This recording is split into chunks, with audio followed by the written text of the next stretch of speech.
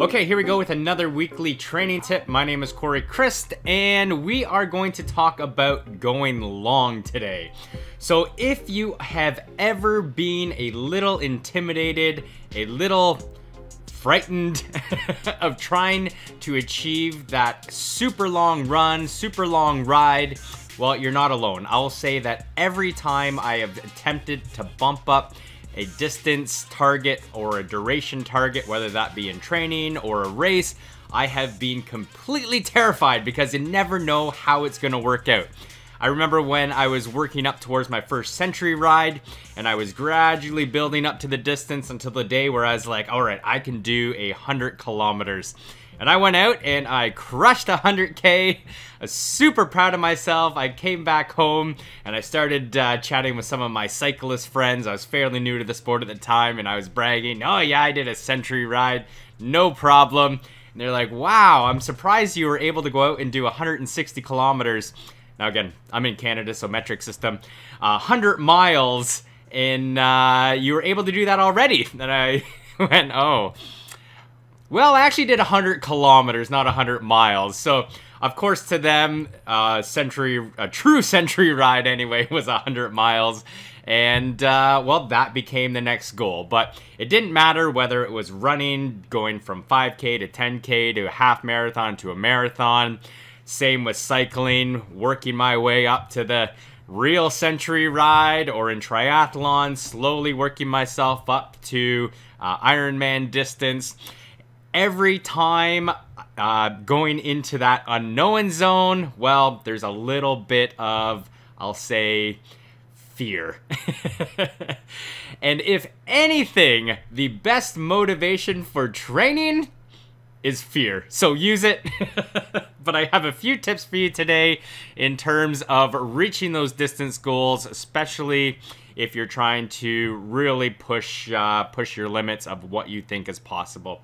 And I will say that as soon as you complete a distance, well, to do it again is simple. And then eventually you're just like, eh, yeah, 100k, 100 miles, 8 hours, whatever, no problem.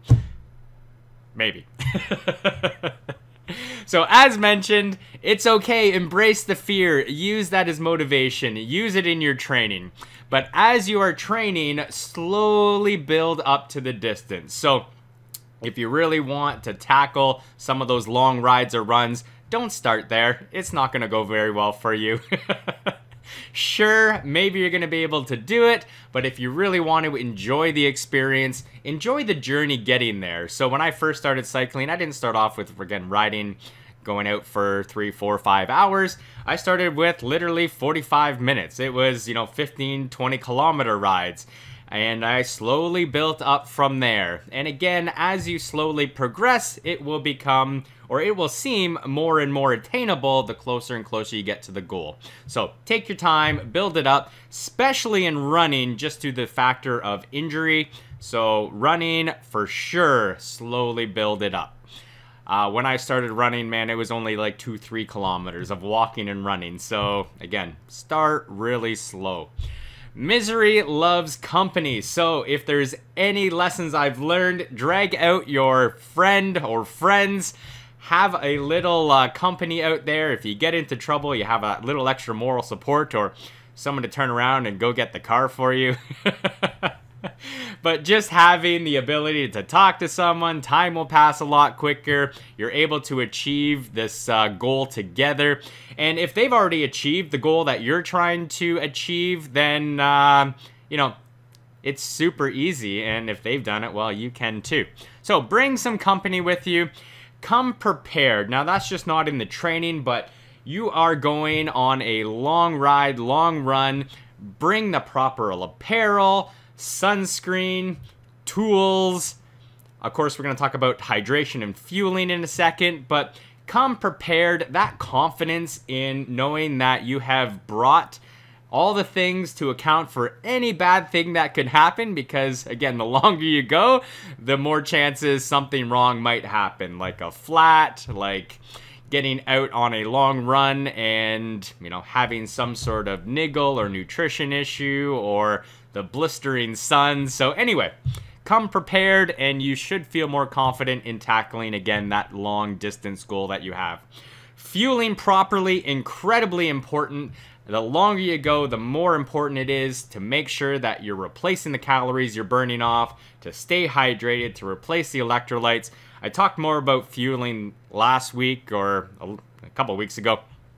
But again, it is incredibly important. If you want to feel good right to the end, then again, this is even more important because trust me, as soon as those glycogen stores become depleted, you hit the wall or the energy falls off, it's going to be a mind game up here as well. So it's just not, you know, the fact that you don't feel like you have any energy. Your brain is really uh, effective at, at uh, changing your motivation and making you want to stop again for the protection of your overall well-being. So fuel properly you'll enjoy the experience a lot more.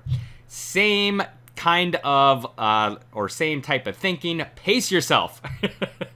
You cannot ride as hard as you can if you are going super long for multiple hours. Zone 1 zone 2 very easy lower aerobic intensities matched with proper fueling you're going to be able to do it no problem. But again pace yourself. And if you bring friends, make sure they pace themselves too. so choose your friends wisely. Last one, unless you're in a race, no rush. Stop for coffee, stop for lunch, take breaks. You can get off the bike. You can walk or stop and take in the scenery on a run. So again, don't feel like you need to rush through it do it continuously, at least for the first time, because again, once you do it the first time, the second time, third time, fourth time becomes easier and easier and easier until you just like, again, ah, I'm gonna go out and run for two and a half hours, or I'm gonna go ride, I don't know, a century ride. So hopefully that helps you work towards your distance goals, achieve those distance goals, and eventually that'll just be regular routine for you. So happy training. Till next time, take care. Bye bye.